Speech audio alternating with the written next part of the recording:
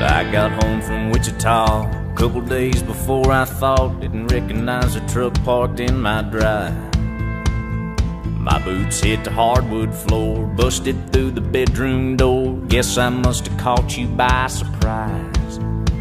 By the time he got his buckle on, I'd hit the safe and grab my gun. You were begging me with tears in your eyes.